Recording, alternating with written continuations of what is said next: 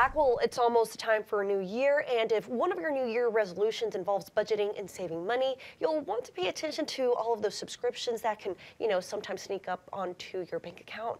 As KTRE's Shakina Davis reports, experts advise evaluating how much those monthly subscriptions cost before the end of the year.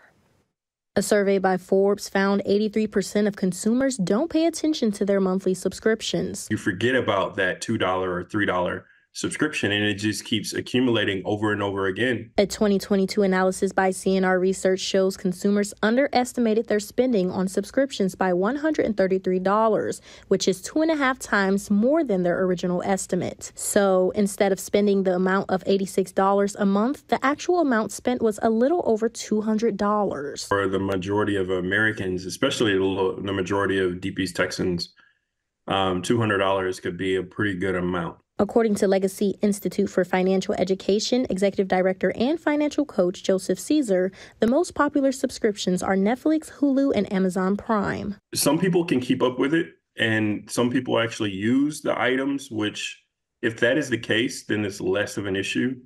Um, but if you don't use the service and is continuing to charge you, um, go ahead and cancel it. A Forbes survey found 90% of people subscribe to streaming services, 72% to delivery apps, and 60% to music services. The main thing is that a budget needs to be maintained and it needs to be managed on a monthly basis. As subscription service increase, Caesar suggests using subscription tracking programs. There are programs uh, that banks have. There's um, third-party providers like Self um, that can help you save money and build your credit at the same time. Shakina Davis, KTRE, East Texas, News 9.